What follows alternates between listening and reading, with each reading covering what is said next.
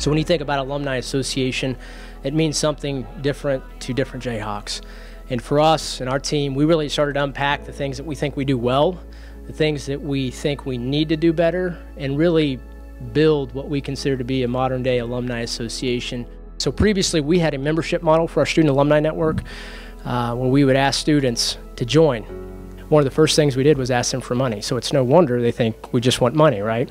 we felt like that was a miss. That's a barrier for student participation. So, of course, we turned to our partners at the KU Endowment Association and said, hey, you invest in our organization, engagement drives philanthropy. We need a stronger base of support. How can we work together to do this? So, we established a gift membership program for our Student Alumni Network members. That captive audience has grown from 1,400 paid members to over 4,300 members in 18 months we as an alumni association have unique value to provide students by connecting them to this incredibly powerful global network of Jayhawks all over the world.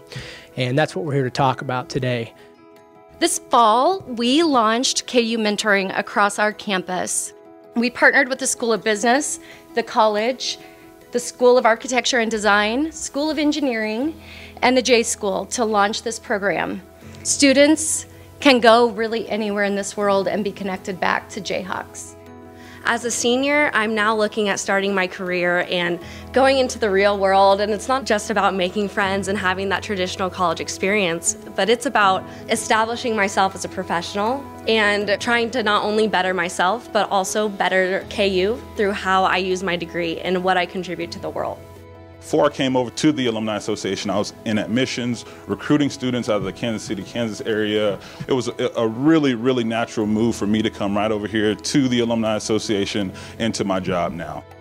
So I came to the University of Kansas. I played football my freshman year, and unfortunately, I received an injury.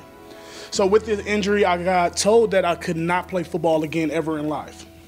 So I went to Keon and I told him I really wanted to get a job in Kansas and I wanted to basically be a Jayhawk forever. So basically he told me he that we was going to look at different things like my resume and cover letter so i told him i sent him my resume and everything and he looked at me and he said well we have some work to do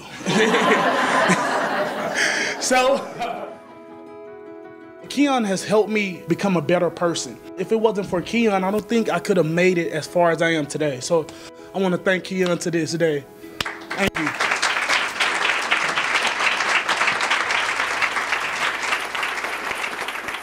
Uh, you all have networks. I think from this room alone, we could reach 350,000 Jayhawks with that two or three degrees separation we know exists in, in the Jayhawk community. So encourage your friends to become mentors. If you know current students, encourage them to be a mentee and participate. Your philanthropic support uh, of this program means a great deal to us, and uh, we appreciate anything you can do moving forward. So, with that, rock chalk.